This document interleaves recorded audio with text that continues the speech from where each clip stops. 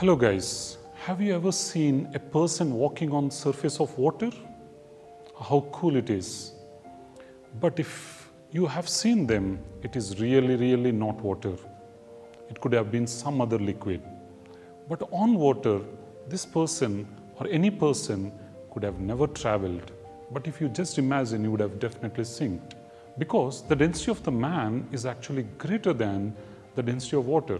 Yet, you can actually see some small creatures walking on the surface of water, like mosquitoes, like cricket. They actually walk on the surface of water. So when you see them very closely, so they don't wet their body when they are on the water surface. In fact, you can actually see some small dimples on the surface of water.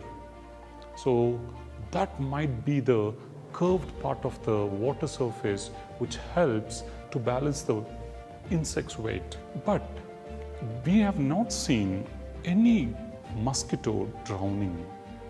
Maybe not, or maybe so. That is not part of our experience.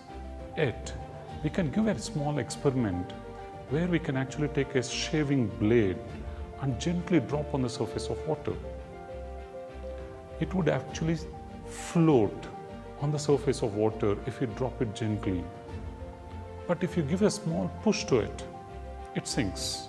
If it is sinking, definitely its density is greater than the density of water.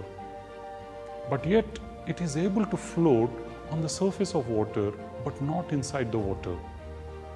So the surface of water is having some additional property when compared to the entire water liquid. So this additional property of the surface for a liquid is what we call it as surface tension.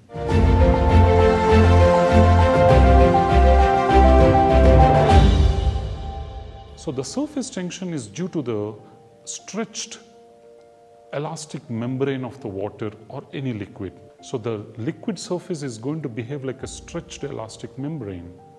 So when a small tiny objects are actually placed on this membrane, so the weight of this liquid is actually balanced by the force created by this property called surface tension. Now let us take one container, a container here. A container filled with liquid the surface which is exposed to the air is what we call it as free surface. So that free surface is what we have it here. And that, let's in the free surface draw an imaginary line. So that imaginary line has some few water molecules or liquid molecules on it. So one side of the molecules are pulled by the other liquid molecules with a force F.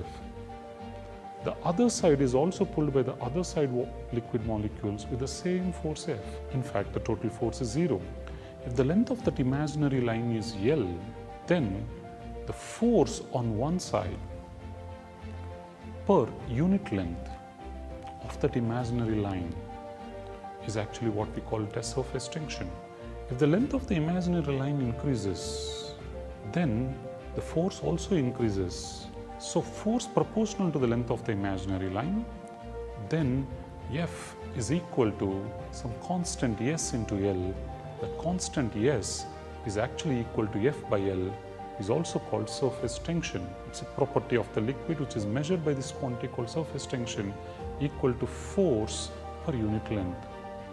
This force is nothing but the intermolecular forces of the liquid, which we also call it as cohesive forces. So the surface tension is only because of intermolecular cohesive forces. So this force helps the tiny objects to float on its surface. But wait a minute. This force is actually directed tangential to the surface, parallel to the surface, which is horizontal. How could this tangential force balance the weight of the small objects which acts vertically down? Okay, this might be because the surface of the water actually creates one small dimple. That small dimple actually makes the curved part of the water in such a way that the tangential force is no longer horizontal. Then a component of this tangential force around the body because of the water or because of the liquid is going to balance the weight of the body.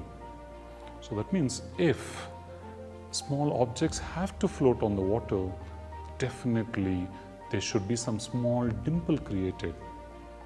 That small curved part is going to bend the surface of the water in such a way that the water's tangential force or the surface tension force is no longer horizontal but it is inclined and the component in the vertical direction of that force is going to balance the weight of the body. So this is what happens when small tiny objects actually float.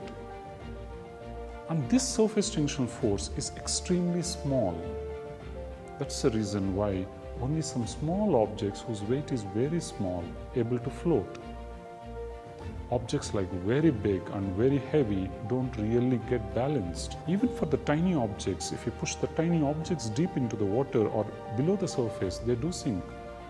That means they are not floating because of buoyancy, but they are floating because of an additional property because of the surface of the liquid. Okay, this is what we call it as surface tension, which is definitely because of the elastic nature of the liquid surface.